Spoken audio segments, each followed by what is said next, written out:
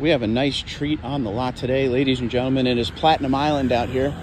We have a Blueprint Platinum I-Force regular 4x4, magnetic gray metallic Platinum, looking pretty good. And when you think we're all out of Platinums, an I-Force Max Midnight Black Metallic Platinum. And cherry on top, ladies and gentlemen, 1794 with the TRD off-road package in the beautiful and very much sought after Army Green. This is probably my favorite of all of these. I would take this home today. And it has the iForce engine, not the iForce Max, which as we've seen in recent videos, the iForce Max engine gets some great gas mileage. This would probably be the one I take home. But which one would you take home? 1794, Platinum, iForce Max, Magnetic Gray iForce, or Blueprint? Let me know in the comments below.